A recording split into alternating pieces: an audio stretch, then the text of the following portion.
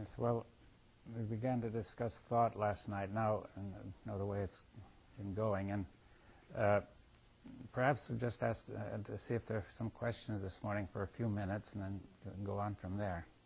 If, if anybody wants to raise some questions about what came out last night.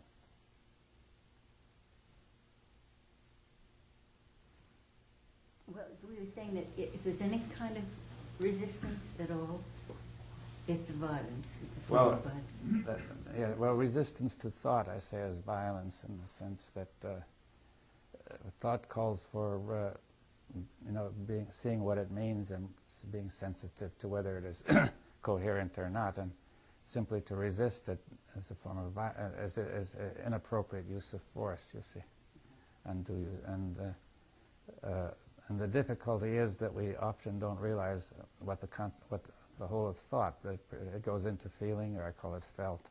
It Goes into the state of the body. It's projected into somebody else as an image, or into the whole society. So, many, most of our social problems are due to thought, and we use we use try to use force to solve them. You see, and they never get solved.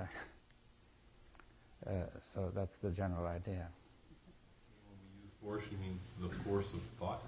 Well, we either use physical force in the case of many many cases, or we use uh, mental force. We use moral force. We use undue. Uh, we get we try to get across a strong feel, you know, a sense of overwhelmingness uh, emotionally. Somebody may put on an emotional display force, or somebody else may uh, use intellectual force to overwhelm somebody with arguments, or uh, moral force. uh, you know, various ways which don't meet the thought, but simply bring in some kind of force to push it aside or dismiss it. And that leaves the problem untouched. You see, that is, people then feel that they, you haven't listened, and they, be, that gives rise to their violence. It becomes a, a spiral cycle of. Yeah, that's- Yes, or else they accept it, but they feel still feel frustrated, and they take it out on somebody else. You see, very often people feel very frustrated in society, but you won't make a violent reaction if you don't think you can use force, right? But it's still there, so you try to find somebody else on whom you can use force, right? Somebody weaker. I mean, that's a very common thing, right? and uh, say people may take it out on children or on uh, people on people who are uh, not as strong as they are, and so on.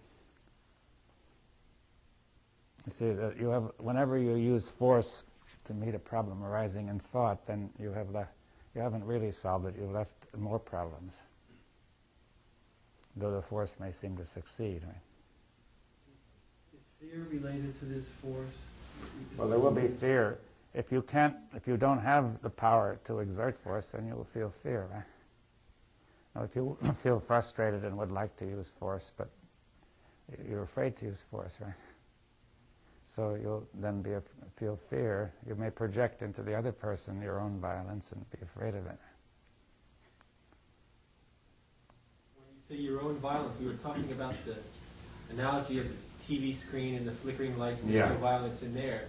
So that's clearly an example of where the violence in me is projected on That's right. Can you say more about this violence Yes, in well, me? whenever you think of somebody who has been frustrating you or doing some doing you wrong, you may think of an image of him and you project it, all the bad things into the image, and then you begin to think, you know, I've got to use force against that, right? Hmm, hmm. Is that clear? So, uh, uh, or else, if you can't do it, then you keep the image in yourself and you start attacking that image, right? Is that clear? But then you're attacking yourself, you see, and you get trouble with your organ, you know, your heart or your stomach. Or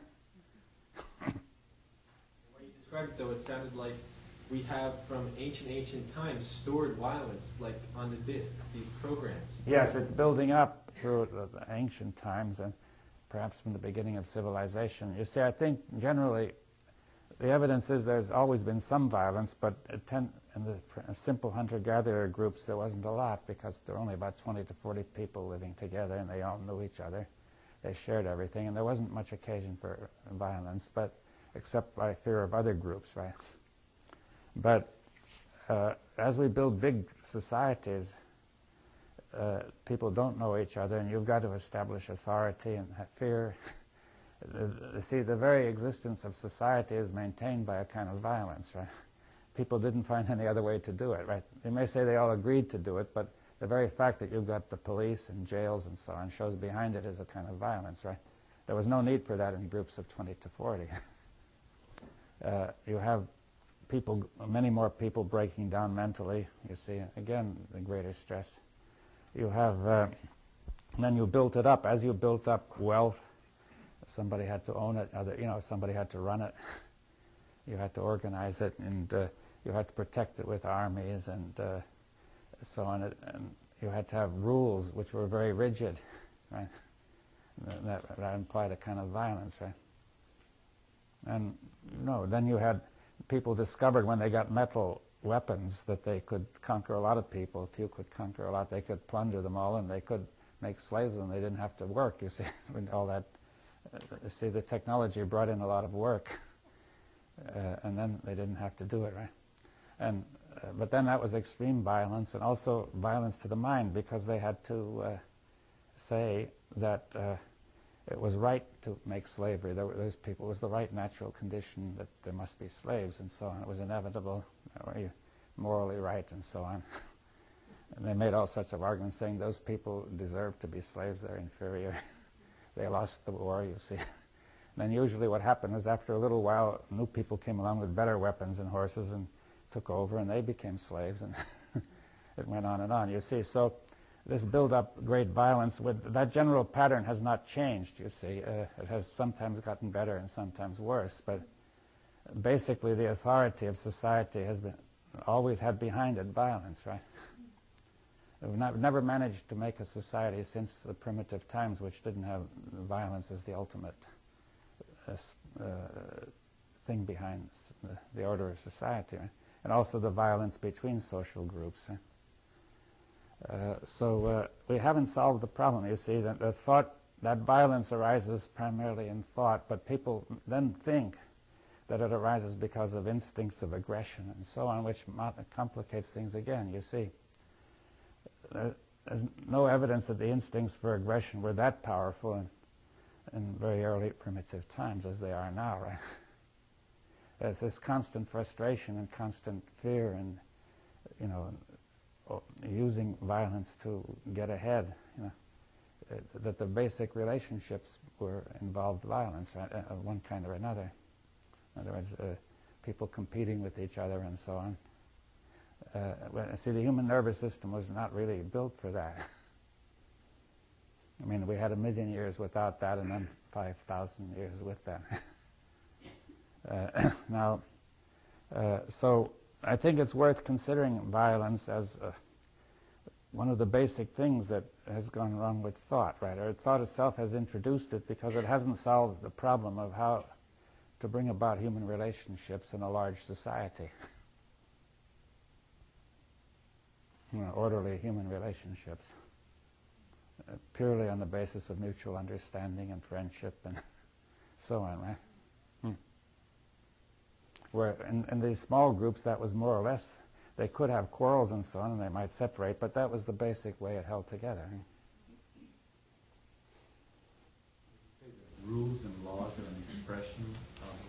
Yes, it's an expression. Some rules are necessary, but the kind of rules that were developed, which had to induce, there were very rigid rules, inhuman, they brought, brought in fear, and so on. They couldn't get people to follow these rules without fear, right?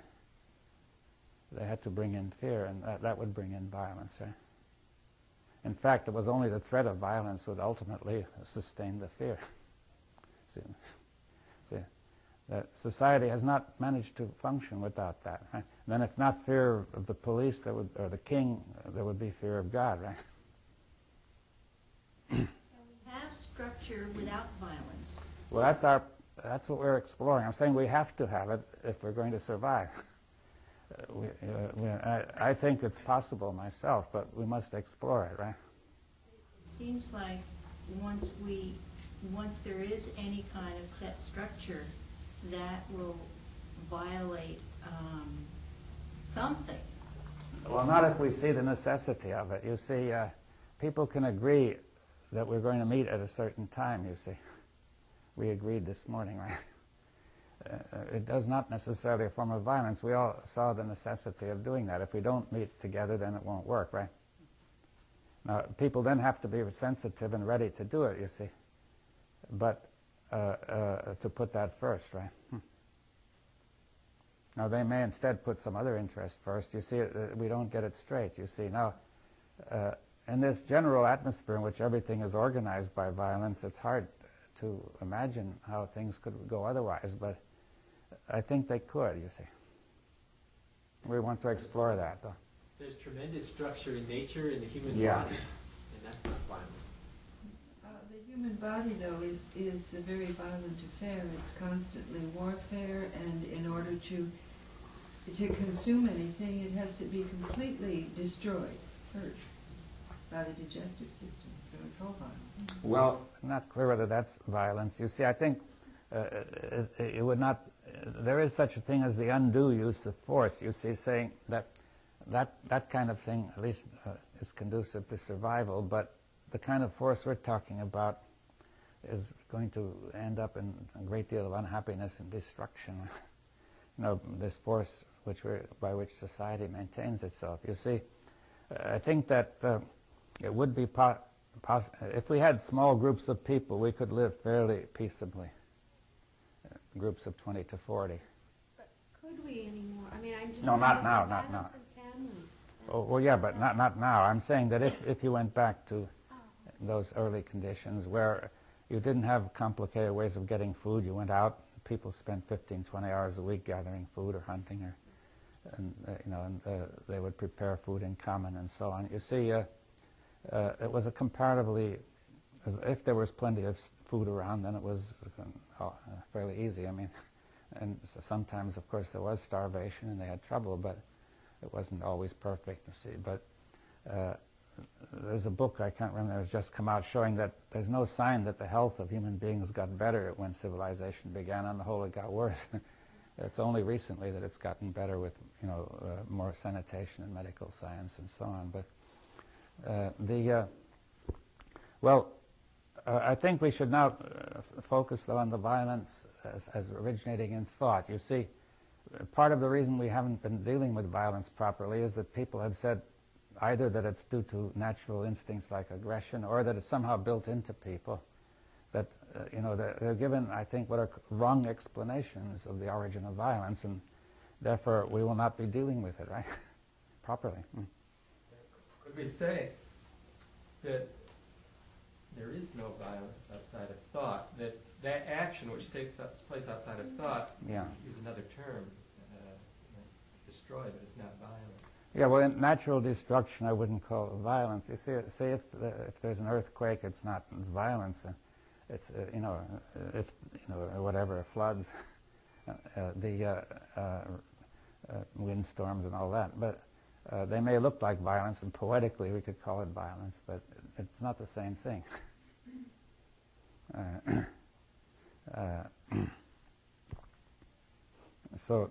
Uh, that there's an inherent incoherence in this, see, uh, in this violence which arises in thought, and the, uh, which doesn't really attain its objective, and eventually it, it, it, it creates tremendous disorder and unhappiness and so on, and uh, destruction. Now, um, I think therefore the thing we want to focus on is that thought the, the kind of violence we're talking about anyway is originates in thought, and people have not paid enough atten- much attention to that. They have not really thought about it that way, right? Hmm. Uh, so, uh, uh, therefore, you see, dealing with violence, they might try to punish it or uh, try to re- entice people into not being violent or saying you shouldn't be violent to, to oppose it. Or see, none of that will work because it's the wrong notion of what's the cause of it, right? Now, therefore, we really have to get into thought, and the violence of thought is very subtle. It's not just physical violence or emotional violence. It's uh, very subtle violence in uh, the way people think and exclude, you know, the way they um, reject each other's uh, in certain ways by just thinking, and so on. Hmm. Now, yeah.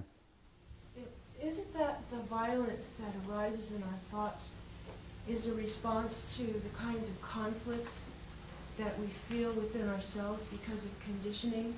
A conflict between, I was thinking of the girl you talked about last night who thought her teacher's behavior was bizarre, but her parents uh, gave her a response that wanted her to discount the, um, the, the her own senses and to deny that she was experiencing uh, weirdness from her teacher, and that would give her a conflict between should she believe her own observations or should she just follow along with the with the dictates of, of the authorities to just ignore that and, and, and go on anyway. And when you have so much of that when you're growing up, you, you, you're in constant conflict with yourself and respond by being violent to yourself many times. That's true, It's yes. self-destructive behavior, and then projecting that in your outside relationships. Well, that's the further unfolding of violence. You see, uh, it all originates in thought. You see, the teacher was doing what she was doing because she had been conditioned to think in a certain way, that this was right, or that it was the right way. And, uh, uh, uh, and so it, it, then you begin to think, well, this doesn't make sense, and somebody else says, ignore the fact that it doesn't make sense. Begin with understanding that, that the conflict is there. I mean, sometimes we think that's a normal state to feel pulled this way and feel pulled that way, and then to respond with craziness because of it. If you could understand the conflict and resolve it peacefully within yourself, you wouldn't need to be violent toward yourself, and you would begin to unlearn the, the violent Yeah. responses. But the conflict is due to your way of thinking. You have two thoughts, one of them being uh, what, that uh, I, what the teacher is doing doesn't make sense, and the other that I, uh, that I must keep quiet. now, th- this produces two different uh, uh, impulses which are fighting each other. Now, if you clear it up and say, okay, I know I can't change the teacher, but I'm not going to get into a fight in myself, if you can carry it that far, okay. But I think what we're, I'm trying to say is I'm interested in something deeper, which is the whole process of thought as it produces violence and conflict, right? All through society and over the ages, you see. That's only an example, right? Hmm. Right. Now, so I think that see, uh, we won't solve this thing by looking at particular examples. You see, maybe that person would feel a little better, but it still will be going on all over, and uh, the whole process in general, this vast uh, thing will be flowing. Right? So, uh, the uh, uh, we have to look at the thing more deeply and more generally. And the uh, and in order to do that, I think we have to understand something of the nature of thought. You see we pay very little attention to that generally in our culture over the past few thousand years. Now, uh, the uh,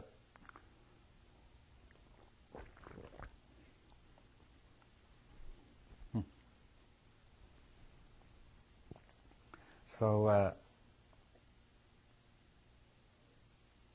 yes, and now. Uh, I I think we have to ask the question: What do we mean by thought? Right? What is it? I've already said it's the response of memory as there's thinking and there's thought. Memory, having put down a program, memory responds either with feelings or with actions or with words, right? Say if somebody asks you your name, you respond right away. It's on your memory. If, if you're a more difficult question, you have to search the memory or you ask somebody else or you look it up in a book. And if it's still more difficult, uh, you can't solve it, you begin to say it's a problem, I must think about it. And a problem, you set a goal. You say, I must, I want to do something, and I don't know how to do it. Like I, I may have to get home, and I haven't got the means, and I try to discover the means, right? So, in a problem, your thinking is generally directed toward a goal which is already pre-selected. You see, that is, your thought has told you that uh, your difficulty could be solved if you could get X, and you only have to find X, right? but then, that's still caught in thought. It's, it's somewhat more active than just uh, automatic thinking, but uh, it may be that the goal you're set to solve the problem is irrelevant or even part of the, the difficulty, right? you see. In other words, the automatic acceptance of the problem is part of the, is, is maybe the main problem. uh, that we have to say we, we can't accept the goals which are in our problems. You, see- you see what I mean? Because they presuppose the things that are wrong. Is that clear what I mean? So it's a deeper kind of question is involved. You have to question the whole kind of thought, which means slowing it down, right? Hmm? If you question things, your thought starts to slow down. Uh, you make the analogy of a wheel going very fast, you can't see the spokes. As it slows down, you see how it works, right? The gears work. so you could say the wheels of the mind are working slowed down so that you can see how they're going, right? You see how they're generating this difficulties, right? That would be one view. Our, ordinarily, we, our mind goes very fast. It, memory responds very, very fast, and sometimes with emotions even faster. and uh, uh, you can't really see what it is, and it goes so fast that you take it for independent reality. You see, this is one of the difficulties. that thought does something and then says this result was not produced by thought. We went into that. It was just independent reality, and we've got to think about it. But as we think about it, we keep it going, right? So, and therefore, uh, we now, while we keep it going, we're trying to solve it. Whereas if, When you say slow it down, do you mean slow it down? And if so, what's doing the slowing down? I mean, well, just raising the question will slow it down. You see, if you're very sure of yourself, your your mind goes very fast. If you begin to feel, I'm not so sure, uh, you know, it's not clear, then it begins to slow down. The thoughts begin to slow down, right? Now, in some sense, the mind may be speeding up, right? Your attention may be speeding up while your thoughts slow down. huh? Hmm? You're more attentive, more aware. Hmm? When you're going very fast, you're not very aware, right? Are you saying that's a relative thing then? To you, they're slowing down. I mean, the- the- is it, are we talking about time right now? Well, yes, it ta- you're not getting so many thoughts so fast, right? If you're, suppose, for example, you're in a panic, your thoughts come in one after another. They're too fast, right? If you could slow them down, you might get out of it. hmm? You know, now because you could see what's going on. hmm? So, uh, uh, sim- or, or, uh, uh, no matter what it is, you see, when, when thought, wor- the program is working very fast, and you can't see that it's a program, but you see it as reality itself, right? And therefore, you're trying to solve this apparent reality, which is really a program. You should be, uh, you should be uh, removing that program, but instead you keep it going and try to deal with its results. You see, that's been the whole history of humanity, right? And what is it that's looking at the program? Well, we'll, we'll raise that, uh, if we could raise that question later. You see, that's a very subtle question. And uh, I think that if we get into it too fast, uh, it won't be clear. Right? You know, we have to get some idea of the nature of thought before we could properly raise the question. Uh, now, uh, the, um, uh, because we have to ask what does it mean to perceive and so on. Hmm. Now, you see, there's a difference between thought and perception. For example, if we see sense with the senses what is in the room, that gives information that doesn't come only from the memory, right? We, now, generally, our consciousness is the fusion of both kinds of information information from the senses and information from the memory from the past, right? So I recognize this as a table. It's the two together, right? It could be recognized as a flat bit of wood with, you know, with sticks, perpendicular sticks. You know, there are various ways, right?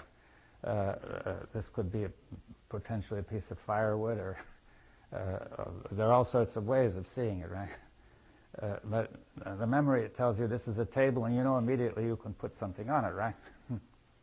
and so on. Now, uh, therefore, that's the fusion of the senses and the past, right? Hmm. Now then, okay, so now, but also we have uh, perception through the mind. We can sense when thought is not working right. We discussed that yesterday when it's incoherent, right? And we can sense that things are related or unrelated and so on. There are various ways, things we can sense which are not sensed directly through the eyes and ears and nose and touch and so on. Uh, we, we sense relationship, right? Hmm. Or non-relationship, separation, union, and so on. Uh, so that also enters into everything you perceive, right? See, what you perceive is the fusion of all that, right? Hmm? Now, that raises the question, you see, we could call this what is present, you see, in, a, in consciousness or awareness. Now, present has a root pre-essent, meaning in front of. You see, it's sort of in front of you. That's a sort of a metaphor. Uh, it's presented. see, this whole net result of thought, sense perception, and perception through the mind is presented to consciousness, fused into one picture, right? or one uh, experience. Hmm.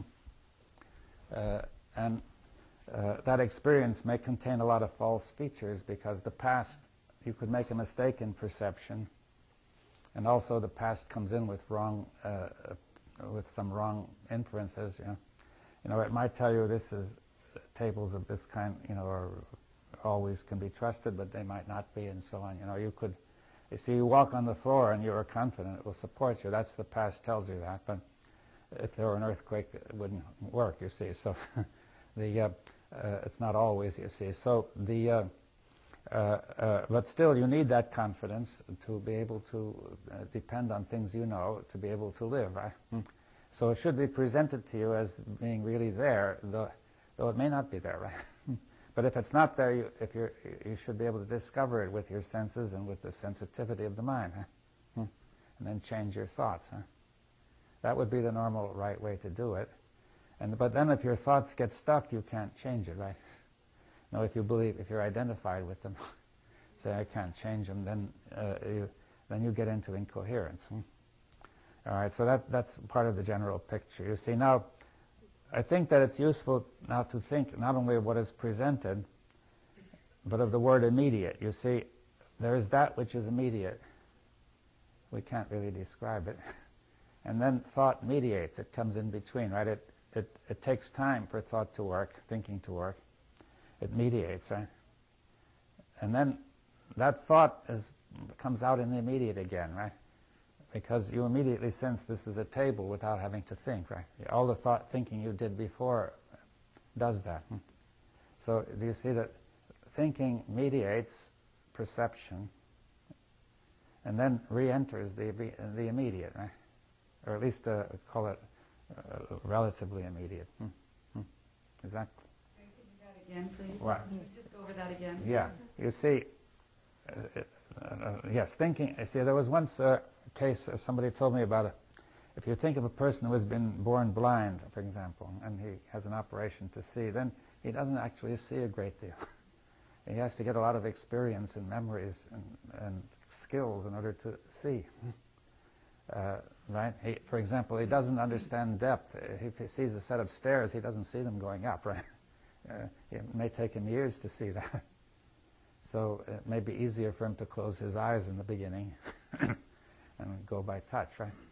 The things. Hmm. And he might see in a way that we don't see, you know, because we, we store it so much in our brain that we don't see things. He may, but if he wants to get around, he can't do it. You see, Hmm.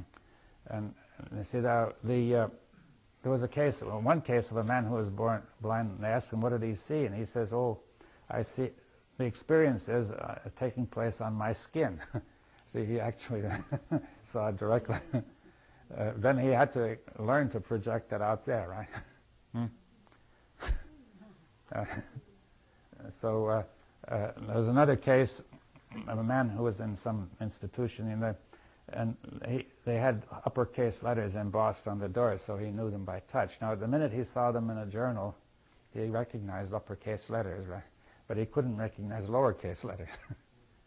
you see, because the touch and sight get connected, right? So all that has to be learned and stored up in skill and memory, you see. Hmm.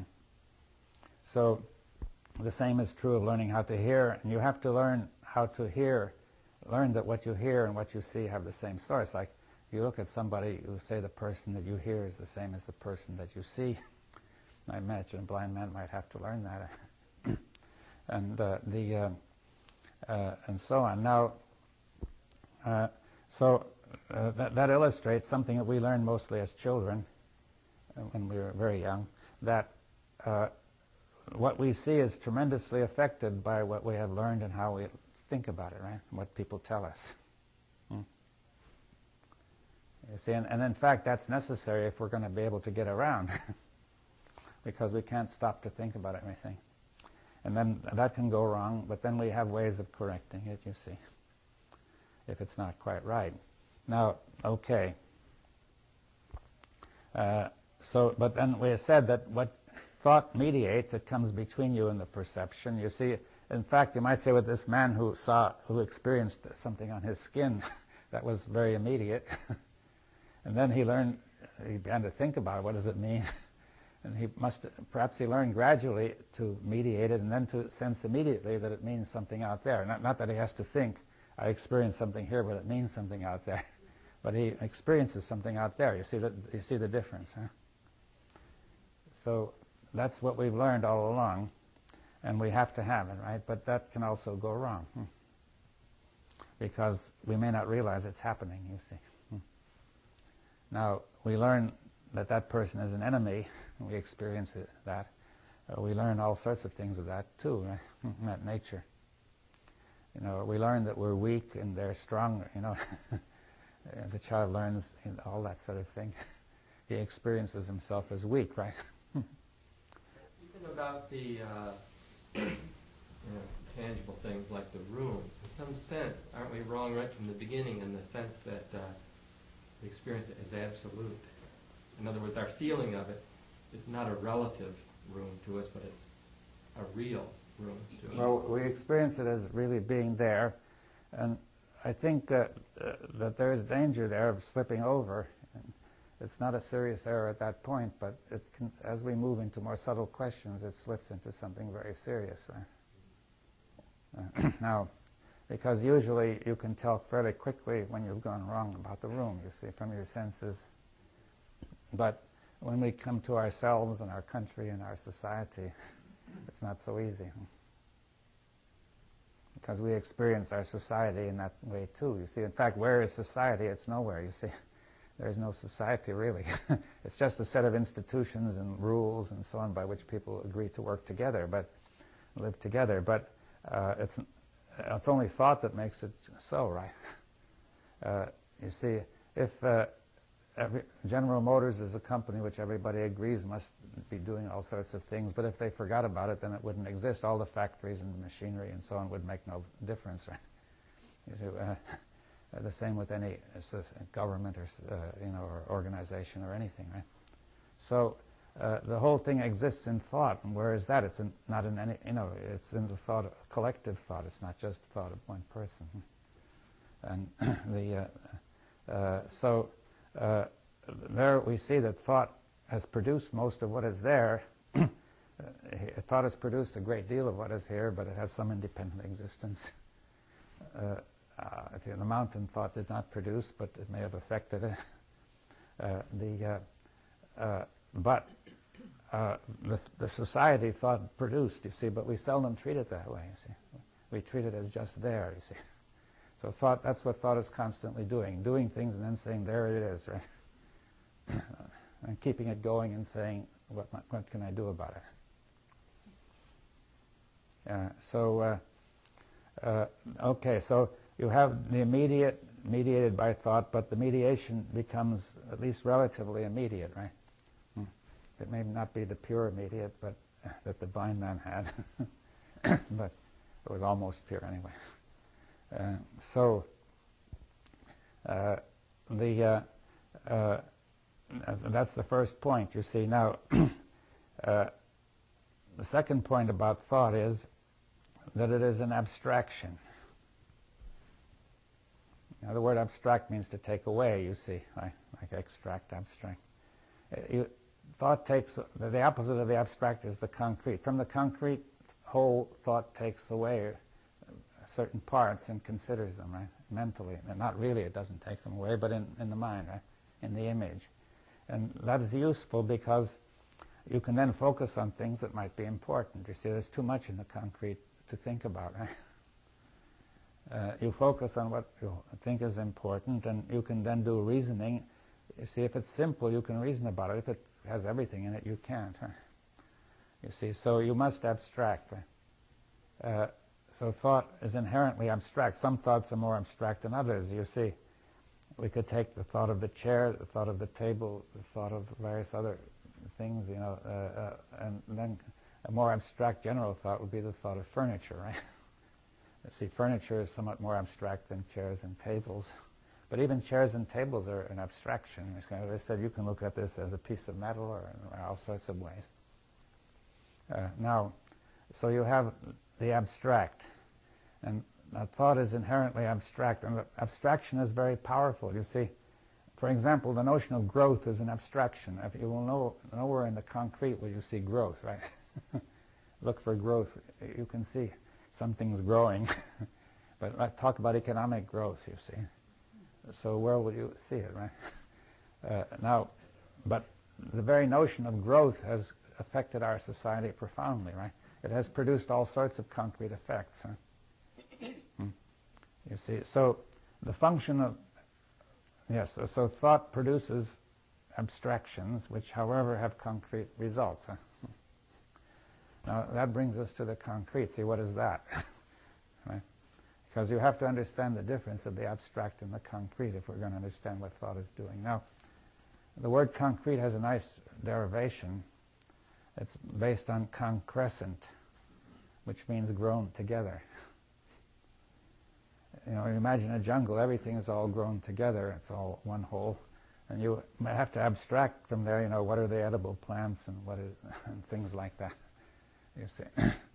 Uh, if we went into the jungle, we couldn't do it, we wouldn't survive. Those who have lived there all their lives make that abstraction easily, and they can survive, right? so the uh,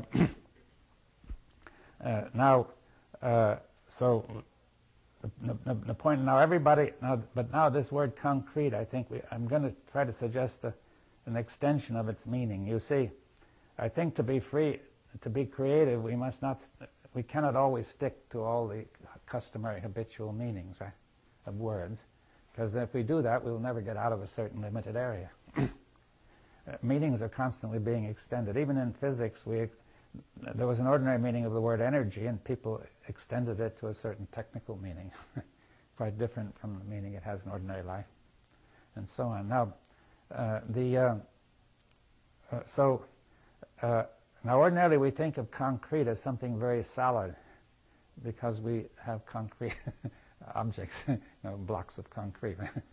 uh, now, but it's interesting to look at the, the, the, derivation of the word concrete is from concrescent. Uh, it has grown together. And you see, actually, it's the cement that makes, the makes it concrete. You have sand and rock, pebbles, and the cement holds it into a block of concrete. you see, in fact, that was originally, it was um, Portland cement, you see, was what made it concrete. Right? Now, you see, so we tend to think of this block as the main point about concreteness, but the main point about concreteness is the cement that makes it all one, right? And so, okay, well, in the case of uh, concrete blocks, the cement is Portland cement that makes a block. But what holds us, to, what holds society together? What holds people together? You see, what is the concrete reality of society? You see, where is the block? you see, it's something very subtle. It's the exchange, the sharing of meaning, right? If people don't share, have, share the similar meaning, society falls apart. Right? Hmm? So the concrete reality of society is very subtle. If we focus on the solid block, we won't find it. See, the buildings, the factories, and all that are not the concrete reality of society. We've just seen that, right? With the, they're the pebbles and the sand. uh, it falls apart without the cement, right? so the um, uh, without the glue or the cement, whatever you want to call it. so the the point is the sharing of meaning is the uh, is what holds society together, if it does. But if the meanings are incoherent, will, society will break up, right? same as saying that the glue of society is the abstract, or is that No, it's, it's, I'm going to come to that. I, I'm going to say it's subtle. That's all I've said so far. I can't get put my finger on the block of concrete we can hold in our hands, right? It's what's called manifest. Manifest means literally in Latin what you could hold in your hand, right? now, but it isn't, the thing that holds society together isn't manifest. You can't put it in your hand, right? The things you can put in your hand won't hold society together. So the, uh, now, uh, so what is the nature? You've raised the question. What is the nature of this subtle concrete uh, uh glue cement? Right? So the uh, uh, I'm, I'm going to suggest now you have raised the question. I say sharing a meaning, right? So I'm saying the concrete basis of society is this meaning, whatever meaning is. Now, meaning is, is, is not just abstract. You see, behind meaning is something concrete, I want to say. The concrete reality of, say, thought itself or of the mind process itself, right? Hmm?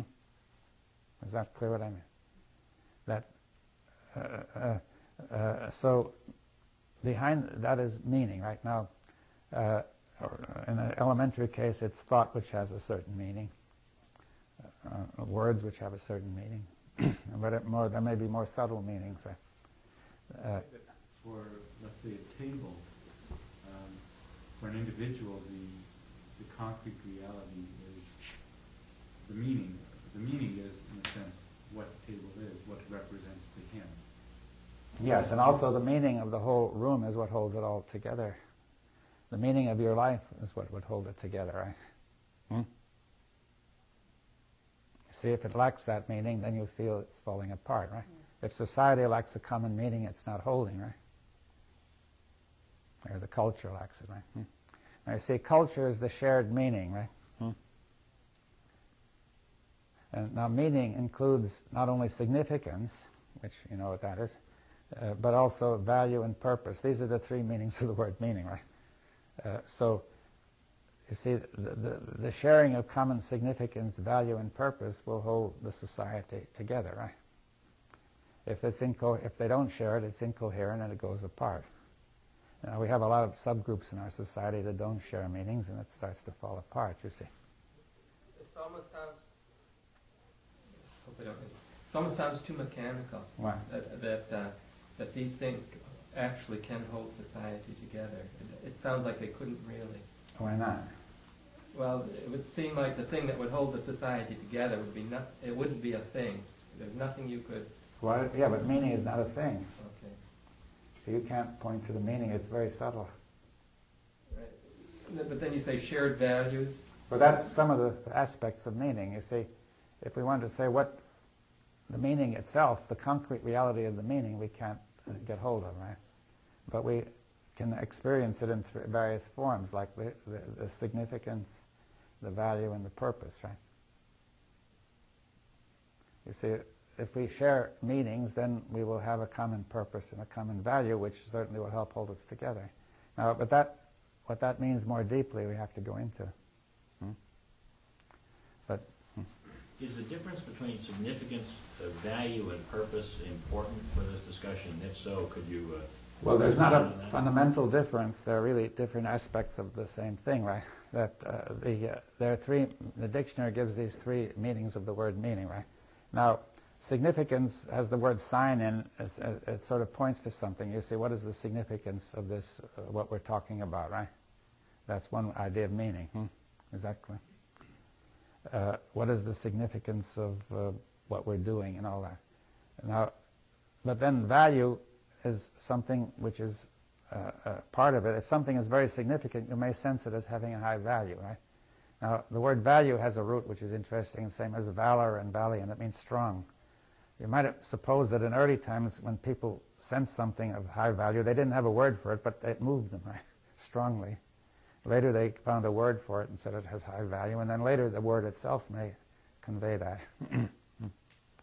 now, the uh, uh, and then if, if, something is significant, it may have a high value, and if it has a high value, you may have develop a strong uh, purpose or intention to, to, get it or sustain it or something, right? Things that don't have high value will not generate any very strong purpose. You see, hmm? so you say it, it's not interesting, right? Hmm? Hmm? It doesn't mean much to me, right? it means a lot to me. It means it has a high value and I mean to do it is the same as to say it's my purpose. Right? So you can see the word meaning has those three meanings. And I don't think it's an accident. I think they're in, in very deeply related. What about uh, the sense that I sometimes have that we pretend to share meaning? Is that because there's a higher value that we have to get along? Because oftentimes I feel we just pretend that. Well, yeah, we may share. pretend to share, which means it won't work. I mean, but then we, uh, we say it's, it's very important for us to not to fall apart, so we'd better share, right? So that's the higher value to hold these things together. Yeah, but then it doesn't really work because uh, it will be- then be a kind of violence trying to impose some sharing which is not there, right? You see, we may then, if it isn't working, we are inclined to go into some use force, right? When, when the right way isn't working, then we fall back to force, right?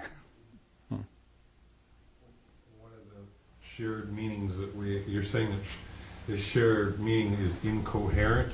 It becomes, yeah. And one of the shared meanings we have is that we all believe in violence. Yes, uh, we, we share that, but we, the, the, the, that- but the kind of meaning that we've shared is not going to bring about coherence. That we share incoherence, that doesn't, it's a kind of paradox. Violence is the way in which we try to enforce this incoherence Yeah. it. Yeah. So what we share is not the right thing to share. You see, we, true sharing must be coherent, right? You use the word right thing, right way, several times now, and that's what always confuses me. Because I've always assumed that the right way is a relative term in every culture. And how does one decide what is the right way? Yes, yes. Well, that will be an assumption that that's always the case. You see, maybe it's often the case, what you said. Not the case. Well, just simply right now in what you said, you see, you questioned something I said, right?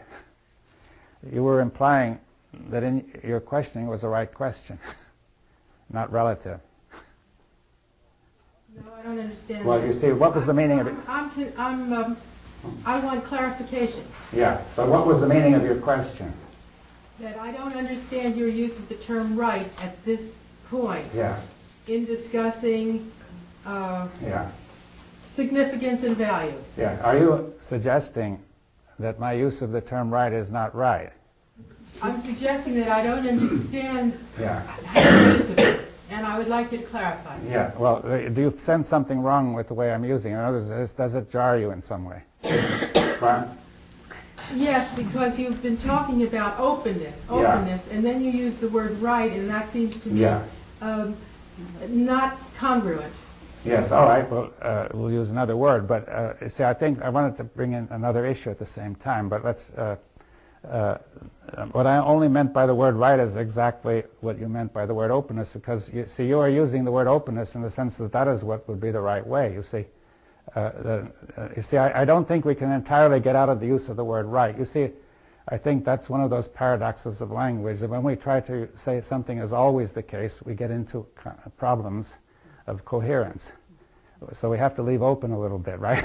we brought in openness, and even openness could get to be wrong, could get to.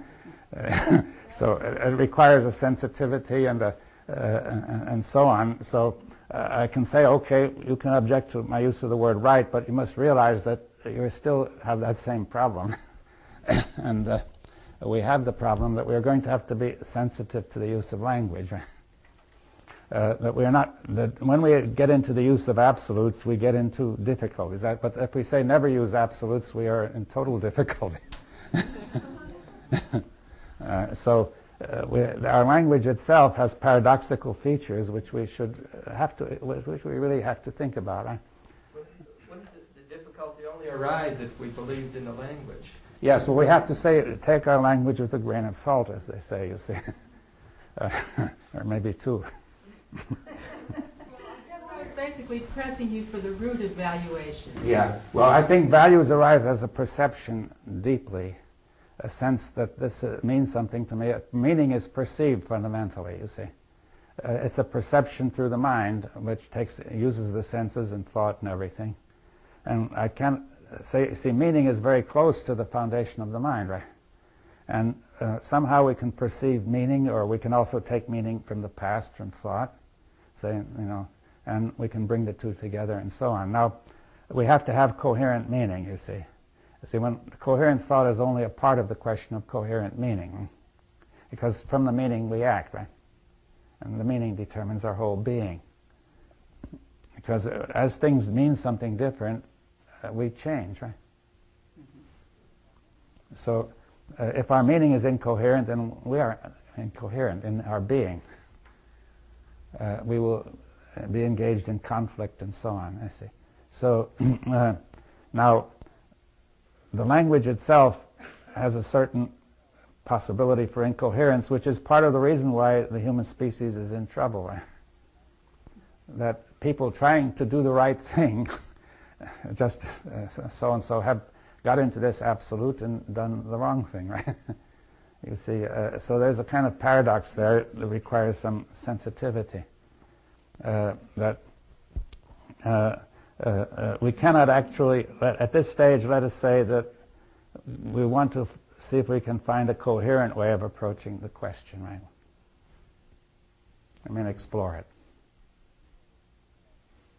And the, uh, but anyway, where were we now? That the, the thing did not work properly uh, when we it became incoherent. You see, and on the other hand, we can say we must be careful not to dismiss incoherence altogether, because we're bound to become incoherent. you see, uh, the question is only what is our attitude to incoherence? If we defend ourselves against acknowledging that we are incoherent, then this uh, causes trouble, right? hmm?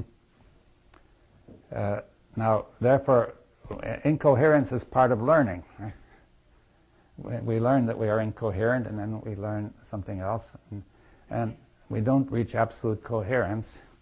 We are constantly moving, right? Hmm.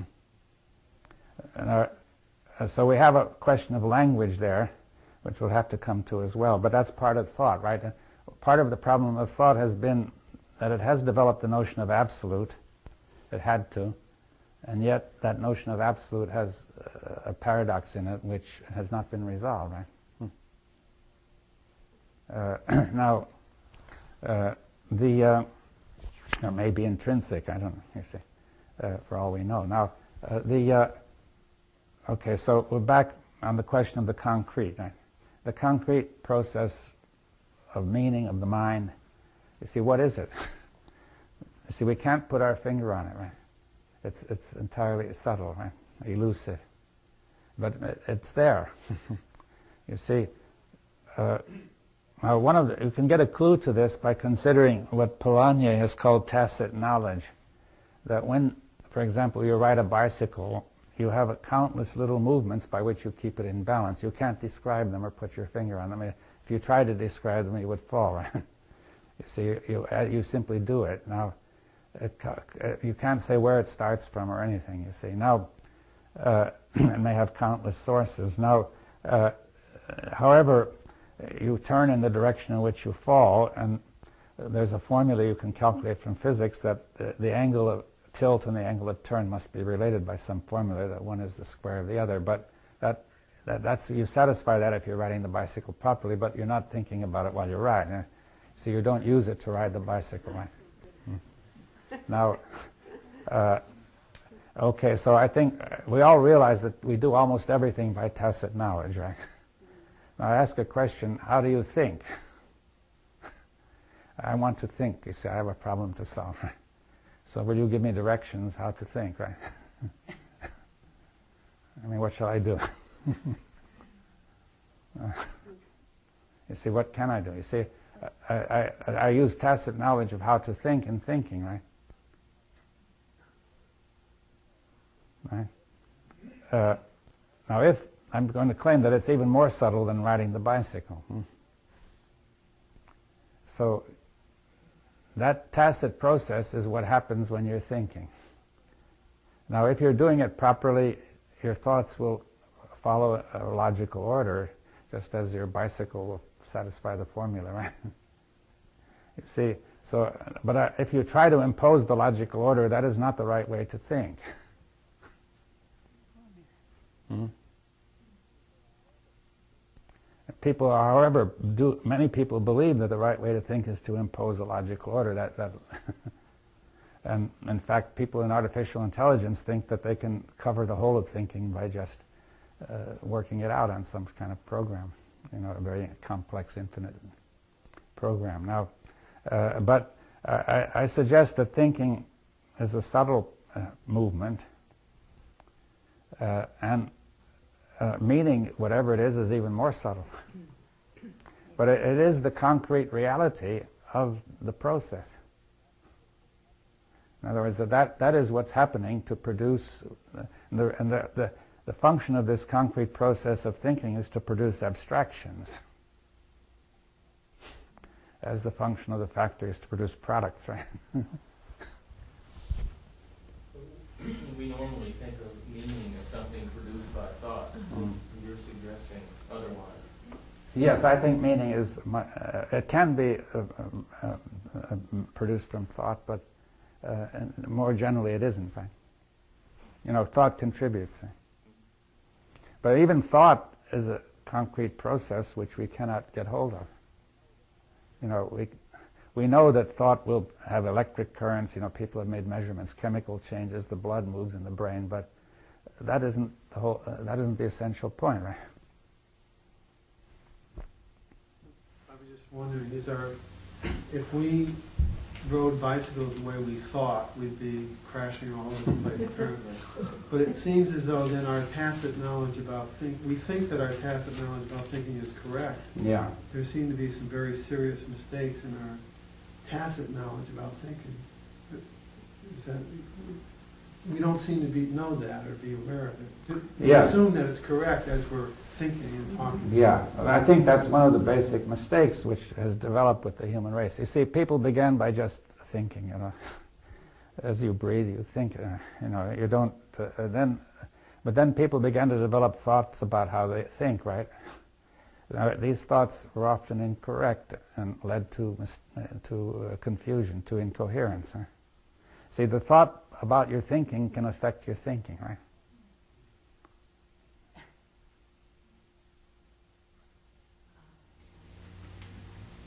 Can you give an example of a thought about thinking that is tacitly? Well, uh, well, for example, uh, you should be a right-thinking person who agrees with your community, right? You know, with all the people around you. You see, uh, saying uh, the community expects you to be a right-thinking person who has the right, correct opinions, and you've you've got to impose them. You see, if you're not right, we've got to impose it. Right? We've got to use force. And, uh, that's going to affect thinking profoundly. Is that clear? It will induce a lot of fear and conflict and. Hmm? Or else, if you think, I must think logically by following the rules, that will get in your way, right? This is something that gets in the way of what they call positive thinking, because you say something that negates, and right away there's a number of people, especially now with the new age, that tell you that's your negativity. What? Negativity, Oh, they say. So you don't have a positive thinking. But is that positive thinking as well something that gets in the way of thinking? Well, that's. I think that uh, all those things get in the way. You see, if somebody says engage solely in positive thinking, uh, that's a rule that you've set up, which may get in the way. You see of uh, the, the, of this uh, tacit process, which really does it right. I apologize for the word right, but it does it coherently, right? the uh, uh, now the uh, see somebody tells you you think only positively. Somebody else says no, think negatively. you know, you must watch out for all the mistakes and so on, right? But you really need to do both. Huh? Or if somebody else says, pull yourself together, you say, cheer up, right? They're affecting your thinking. They're telling you to think thoughts that'll do that, aren't they? Hmm? Now, that may not make much sense. You see, you may have a lot of thoughts that are pulling you apart, depressing you, and so on, and you're not really facing them, you see. Hmm?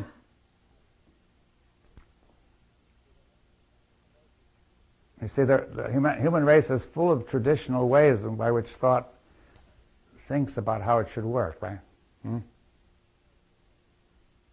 Essentially, most organized religions based on that. Yes, I mean, think God, you know, think uh, obedi- fear of God, obedience to God, right? Uh, put God first, you know. There are various ways which, by which you if you think, you will then, the, the suggestion is you will bring the rest uh, into harmony, right? Hmm. IBM machine used to have a sign that just said think. Think, well, it's all right, but you see, what does it mean is the question, right? you know, the, the word think has also all these meanings that have been developed, right? Hmm. Yeah. Well, we should have a break now, I think. Uh, 15. yes, I think. Uh, everybody can think about this in the next 15 minutes. hmm.